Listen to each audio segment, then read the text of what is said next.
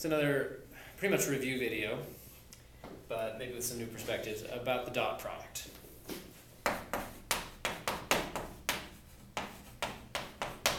gonna go pretty quickly through stuff. I wanna go, I wanna start with a problem. What is the angle between the two vectors, let's say u is two, one, and v. Now, I need to make a notational aside, and it's actually a little more than a notational aside. In the Stewart book, he uses angle brackets when he's talking about vectors, as opposed to parentheses, round brackets, when he's talking about points. And let me just talk briefly about that. If I have a point, two comma one, we denote that with the round parentheses. That's just the point in the plane. But in order to get the power of vector algebra going, we very often promote that to be a vector by putting the vector in standard position, that is with its tail at the origin. And then that gets transmuted into the vector 2, 1. And the way you translate back and forth is if I have a vector in standard position with certain components, then the, the tip of that guy, the head of the arrow, is exactly at the same coordinates. The components of this vector are the coordinates of the point. And vice versa. If you have a point, you can promote it to being a vector in this way. So the reason we do that is we have immense thing, power we have with vector algebra, and especially once we get the dot product and other things like the cross product. We want to have a uniform way of talking about that. Not have some things be points, some things be vectors. So almost always we're just going to take points, we're going to promote them immediately to be vectors, and then work with them as vectors. But it is a little artificial because we're choosing the base point to the origin, and often the origin is a little bit um, arbitrary.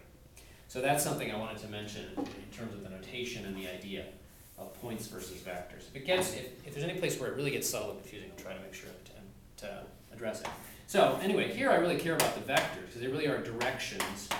They're rays, really, that I care about. What's the angle between those directions defined by those vectors? Well, that's actually a hard problem.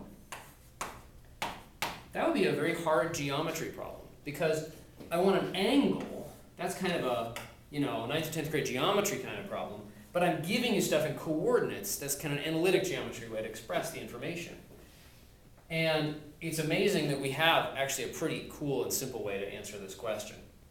What we do is we find one operation that has a nice formula in terms of, of geometry, so it has geometric significance, but also has a formula in terms of algebra, and in fact an easy, really easy formula to calculate in terms of algebra.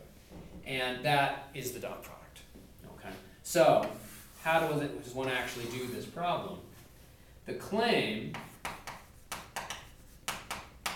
and I'm just going to put this out as a claim, and you can read in the book for proofs, and I might do a video more about the, the, the background stuff here, is that we can define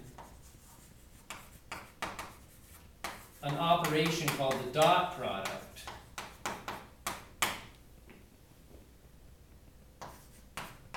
u dot v of two vectors in two different ways.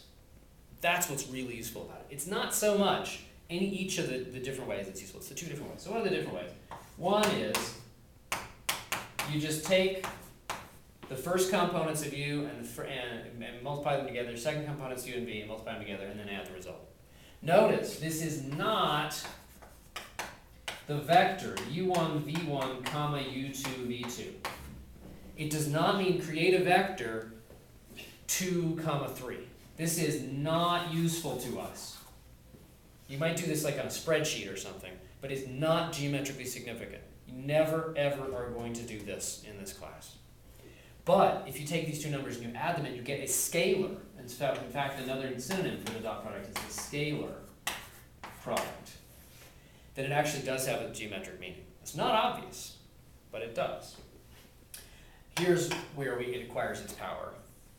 It turns out that's the same as if you took the magnitude of u the magnitude of v, and multiplied by the cosine of the angle between them. The fact that these two numbers are equal is anything but obvious. And the proof in the book involves like the law of cosines. It's pretty cool, and I might do a video about it. But let's take for granted for a sec that somebody's really carefully proved that this algebraic formula, which is easy to calculate from components, is equal to this geometric formula, which has geometric information.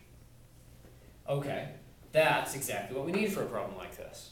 Because here, u dot b is just 2 plus 3,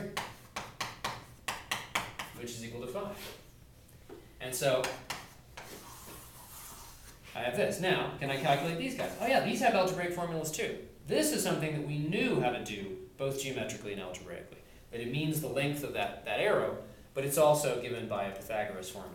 So, we've got 5 equals the square root of 2 squared plus 1 squared, so that's 5.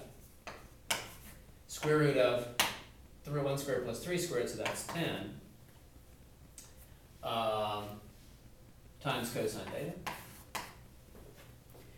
And so we get 5 equals, uh, now we're in luck here. That's, there's actually a, this is a 2 root 5, and so the root 5's cancel, uh, or they become a 5. 5's cancel, and I get cosine theta is 1 half. And I'm very lucky because that's actually a theta I know. In general, we'd have to do an inverse cosine here. But we actually know that the angle whose cosine is 1 half is equal to pi over 3, or if we prefer, 60 degrees. Since we're doing geometry, it's not immoral to use degrees. If we were doing like circular motion, it would be. And so it turns out this is none other than a 60 degree angle. Usually this number is not going to work out so nicely, but I picked, I picked one that, that where it worked out very, in a very pretty way. So here, again, to recap, we were trying to find this geometrical quantity because it goes into the geometric formula for the dot product, and that also is given by the algebraic formula. We were able to do this and this and this just using algebra, and then solve for cosine theta, and then solve for theta. So that's uh, one of the places where um, we're going to use the dot product. So the, the way to summarize that in a master formula, if you're actually focusing on the angle, there's this formula that's in the text, which is, I think they use A and B, but it doesn't really matter. You take the dot product of two quantities and you divide by the magnitudes of those two guys, you're going to get the angle between them. Notice if either of these vectors is zero, so the length is zero, this doesn't make any sense, but of course not. If one of these vectors is a zero vector, it doesn't define a direction, there's no way to get the angle. The other thing to notice is that suppose I doubled the vector u.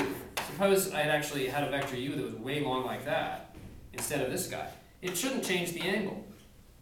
And that's what we're seeing here. If you double u, well, what's that going to do? It's going to put, it's going to double this and double this, so it's going to double the dot product. So this is going to go up by a factor of two, but then that's going to go up by a factor of two as well. If you double a vector, you double its length. And so that's going to stay the same. Similarly, if I triple v or multiply v by any fixed constant, that's going to cancel out. And so it has to have this kind of shape. In particular, we couldn't possibly have this be the right formula, because this does depend on the length of u and the length of v. If I double u, I do double their product. If I double v, I do double their product. So that's going to be a really nice formula in itself. And let, us pull some consequences out of this that are going to be really important for us, really important. And that is, what about, we want to think more about this quantity, u dot v. It gives us some clues as to its meaning. Let me check the time I got here. Alrighty, let's go just a little bit more on this one maybe switch to another one in a minute. What's the meaning of this? Well, it's a real number. And the simplest thing you can ask about a real number is whether it's positive, negative, or zero. And let's see, well, what happens? Is there anything special about the dot product of two vectors being zero? Well, you bet there is. That's when this quantity is going to be zero, and therefore cosine theta is going to be 0. Now, to be real careful, this is going to happen if either of the vectors is 0. But let's hold on off on that for a second. Let's just assume they're non-zero for a second. We'll see it works out. That's going to happen when cosine theta equals 0, or in other words, when theta is pi over 2, or if you like, 90 degrees. Or in other words, when u is perpendicular to V. When two vectors are perpendicular, that's exactly when their dot product is zero. And the fancy word we use in this context often is orthogonal. Uh, there's various historical reasons why we don't say perpendicular, but if you say perpendicular, it won't, it won't kill anybody. But that's the word we're often going to use here. But it means perpendicular vectors. And um, let's go back to that special case, u and v, one of them equal to zero, both of them equal to zero. What we're going to just agree to say is that the zero vector is orthogonal to everything. feels a little weird that one vector could be orthogonal to every direction, but hey, the zero vector is pretty special and weird, so it's okay. Um, and so we're going to say zero is orthogonal to everything, including itself. But for non-zero vectors, it means exactly what you think it means. It means that it's a right angle. So that's very interesting. Okay. Now, what about positive or negative? Let's go over here. u dot v is positive. That's when cosine theta is positive. Notice that these guys aren't doing anything interesting. This is positive times positive. It's never going to change the sign. So these guys always have the same sign. So that's going to be when theta is less than 90 degrees. Because we know from our unit circle that that's when the cosine of an angle is positive. So this means that the vectors are generally, not exactly, in the same direction. One thing I like to say is it, it turns out that a lot of the times these guys, we might be adding these vectors. One of the things we might be doing with these vectors is adding them as well as comparing their angle and, comparing what directions they go in. If I add these guys, they're going to tend to help each other. That's where this is positive.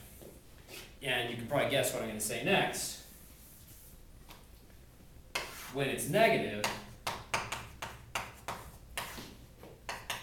that's when cosine theta is negative, and that's when theta is greater than 90 degrees. That's going to be the obtuse case.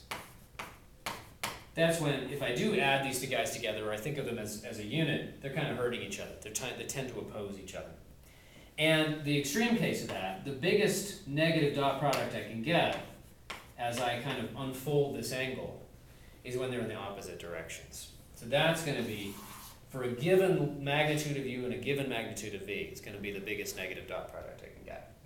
Now, certainly, if I just make u bigger or v bigger, I can make the dot product as big as I want, positive or negative.